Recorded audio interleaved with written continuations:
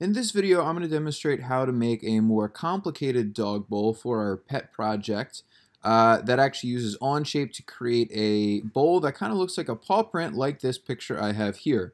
Now, there are a couple different tools we can use uh, that's going to help us out, one of which is going to be the mirror tool, because essentially this is a symmetric object. So what's on the left is identical to the right. So instead of having to draw this entire shape uh, from the ground up, we're actually going to be able to use the mirror tool to help us out. We're also going to use the offset tool and the trim tool, and you're going to see how these basic tools allow us to create this style dog bowl pretty quickly in Onshape. So we're going to start by making a sketch on the top work plane. And the first thing I'm going to do is I'm going to draw my line of symmetry. So I'm going to grab my line tool and in Onshape, if you want to create a line that isn't actually part of the design, so it's just there to maybe help you divide your design, you can use what's called the construction tool. So I already clicked on the line tool, and now I'm going to click on this construction button right here, which is also Q.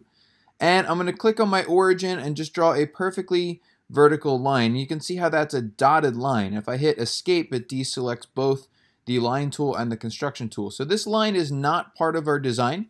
It's only there to help us divide our design and use the mirror tool as I previously stated. Now this paw print looks uh, a lot like um, many ellipses. So I'm going to grab the ellipse tool, which is right here underneath the circle tool. And I'm going to start with the bottom part of the paw print. And I'm just going to start by drawing kind of a an angled ellipse here something like so. When you use the ellipse tool, you actually have to click twice. So the first click is your horizontal scale, and then the second click is your vertical scale.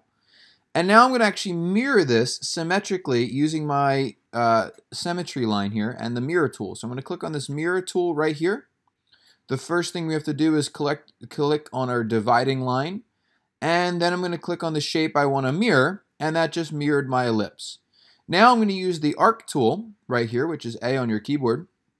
And I'm just going to kind of round out where these meet a little bit by clicking on my edges and drawing a soft arc to actually kind of make the bottom of my paw print like we saw in that photo. Now I'm going to grab the trim tool, which is this pair of scissors right here, and I'm going to click on all the lines, the overlapping lines that I don't actually need, so I just have this one kind of paw print style shape. Next, we're going to work on the upper part of the paw. So again, I'm going to grab the ellipse tool. Uh, from that image, it looked like it had two larger paw prints here, two little larger pads in the center. So I'm just going to draw a big pad right here. Again, I'm going to use the mirror tool by clicking on the mirror icon, clicking on my center line, and then clicking on that paw. And then I'm going to draw off to the side a smaller pad. Something like that. And again, lastly, using the mirror line and mirroring that across the side. And obviously you can play with scale and measurements to make the paw look like you want. Now, technically these are the cutouts. This is the cubby, this is where you'd actually fill the bowl, but we need to do an outer perimeter that's going to be the surrounding base of this. What we're going to do is we're going to grab the offset tool right here, and we're going to have to offset each shape individually. So I'm going to click on this first paw pad, and if I click, I can actually offset by 0.75, which, you know, you can change. This is essentially choosing the wall thickness here. If you want to go a thinner wall, you could do something more like 0.5. You really just want to make sure that you're offsetting the same amount all the way around. So I'm going to click on each of these individual shapes and offset by half an inch or 0.5. And what you want to see is you want your offsets to overlap. So that way you have a connecting shape. Now because we drew this bottom shape in multiple parts, you're actually going to have to click on it multiple times to make sure that you offset all the way around. And now this is looking a little bit messy, but we're going to use our trim tool to clean this up. So using the trim tool, I'm just going to delete all the overlapping lines from my offset. Oops, I accidentally just deleted a mention. So if you delete something you didn't mean to delete, remember that undo is your friend.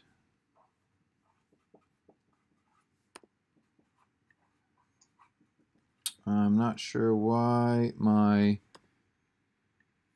ellipse is changing its size here. I'm going to drop in a couple measurements. That way I can keep going around and try to delete. As you're deleting, uh, you might get some red that appears. That's okay. Just keep deleting here. Those are your constraints popping up, showing that you might be deleting part of a constraint. But once you finish deleting all the overlapping lines, you should have a much cleaner image as you're going here. So let's see. Working my way around. Again, don't get too concerned with measurements and dimensions that are changing right now. It's just because we're deleting lines that were constrained. So looking at that, and I'm actually going to clear out these measurements here just so we get a better view, we can see that we have our cutouts and the outer bowl. Uh, I'm going to label this to be base of bowl, and we're going to confirm our sketch.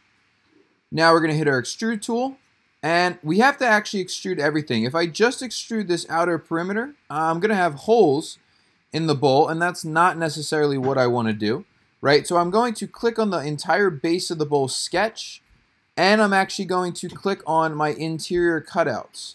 So I'm extruding the solid paw print here. And I'm going to extrude to a depth of, say, 3 inches. Eh, let's do 2.5. Like so.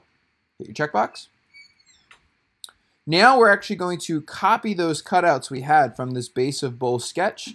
So I want to actually hover over. Base of bowl is now grayed out. So I'm going to hit this little eyeball to show the base of bowl so I can actually see the cutouts that we made. And we're going to copy them to the top of the bowl. So let's click on the top of our bowl so it's highlighted in yellow. Let's make a new sketch and let's call this pockets of bowl. I'm going to change to my top view. And because I've hit this little eyeball next to the base of bowl sketch, I can see those pockets as dotted construction lines. I'm going to copy the use project or convert button. That's this cube right here. It's the letter U on your keyboard, use. And I'm going to click on all the little pocket cutouts that I have. And again, for this bottom one, because we drew it in multiple parts, you're going to have to click on it in multiple parts. Hit your checkbox. I'm actually going to hide the base of bowl sketch again. We don't need that anymore.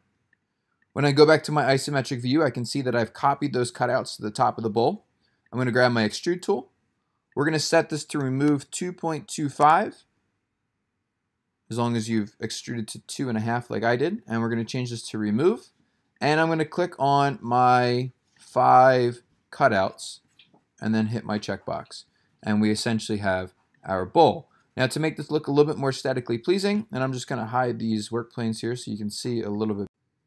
So just to add some finishing touches here, we're going to grab our fillet tool and I'm just going to round over the top of my bowl. So if I click right here, I'm trying to round this over. And if you get red like this that appears, it's because you're trying to actually round over too much uh, for where your bowl actually meets and intersects. So right now Onshape, Onshape is telling me that these corners are colliding and I can't actually fit around for what I'm trying to do. So if that's the case, you can actually manually click on individual parts of your bowl. So for example, I'm just going to round over these interior pockets of my bowl, like so.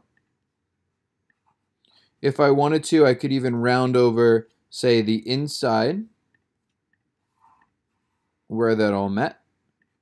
And I'm thinking that looks pretty close to the image that we actually saw.